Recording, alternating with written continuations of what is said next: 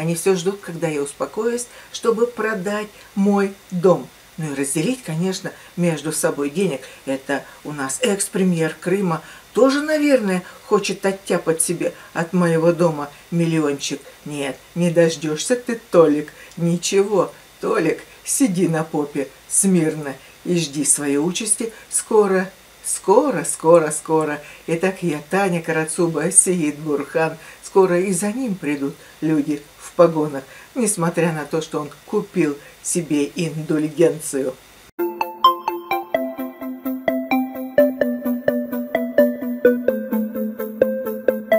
Зато и постоянные заработки никогда не иссякнет этот золотой ручеек денег, долларовый ручеек. Но для этого и строили, ведь они знали, что грунты внизу в этом месте не выдерживают, что сваи-то проседают бесконечно.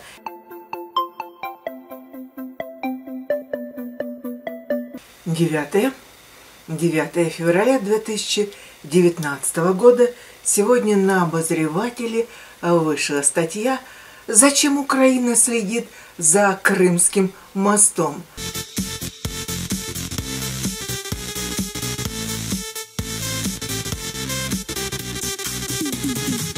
Обрушение Крымского моста вызовет гуманитарную и экологическую катастрофу в Азовском море. Только по этой причине Украина продолжает мониторить состояние этого объекта. Но вообще, конечно, Крымский мост – это прежде всего шлагбаум, который перекрывает вход в Азовское море.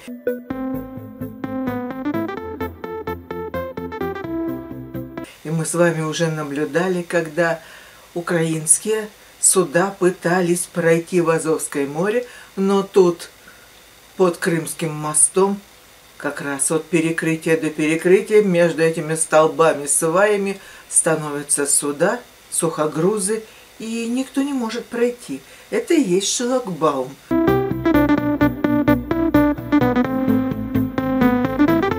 Такой вот природный. Итак, об этом в эфире обозреватель ТВ заявил заместитель министра по вопросам оккупированных территорий и внутренне перемещенных лиц Украины Георгий Тука.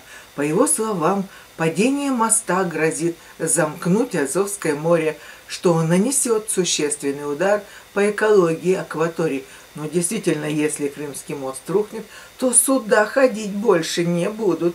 Это тоже нужно понимать.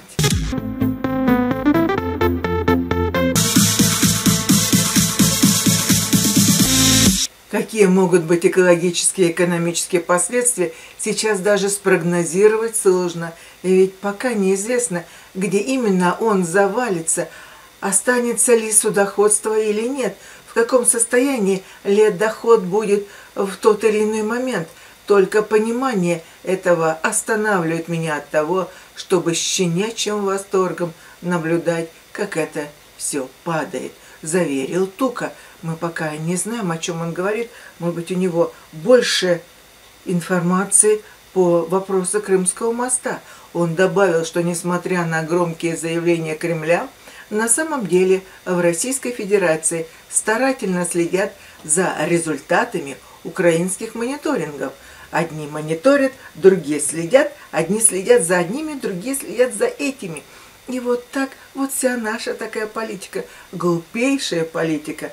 Они бы следили за тем, чтобы дети хорошо кушали, чтобы старики богато жили. А здесь какая-то ерунда получается. И даже реагируют на тревожное сообщение из Киева. Это Москва реагирует. Ну как она может реагировать?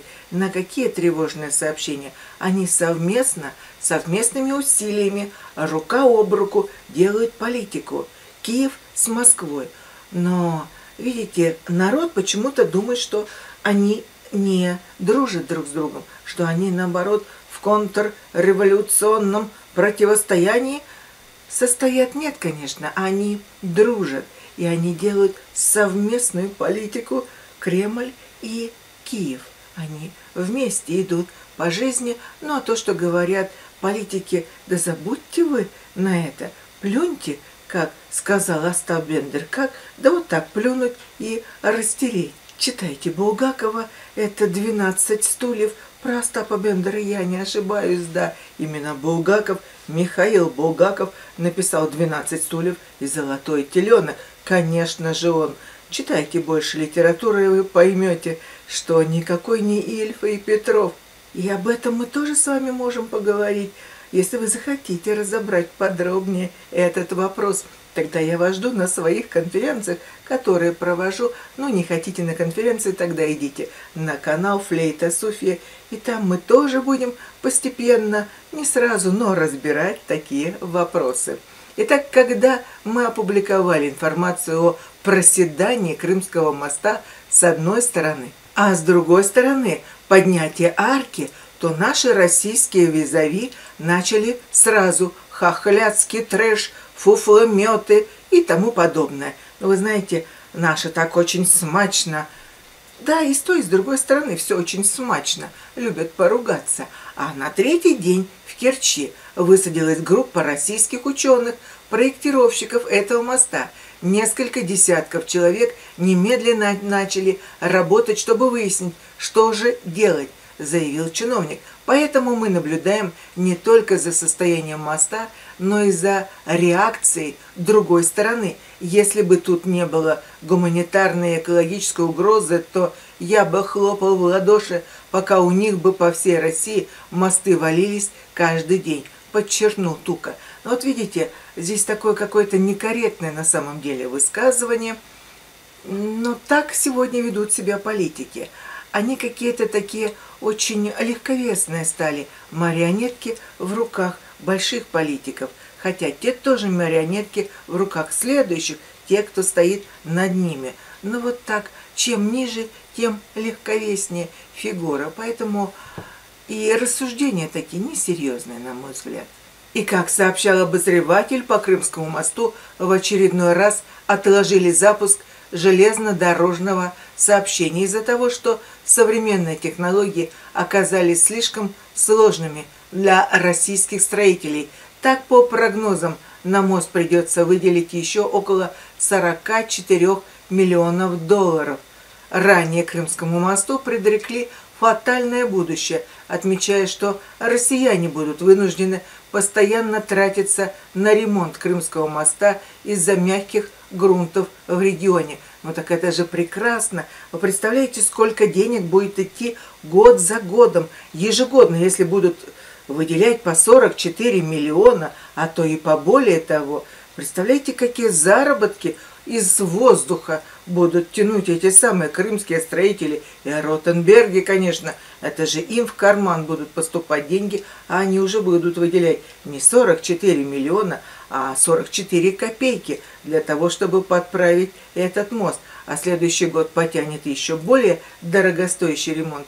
И так это как круговая порука, оно так и будет длиться постоянно, зато и постоянные заработки никогда не иссякнет этот золотой ручеек денег, долларовый ручеек. Но для этого и строили, ведь они знали, что грунты внизу в этом месте не выдерживают, что сваи-то проседают бесконечно. И вообще, Крым, особенно на побережье, он ведь весь ползет.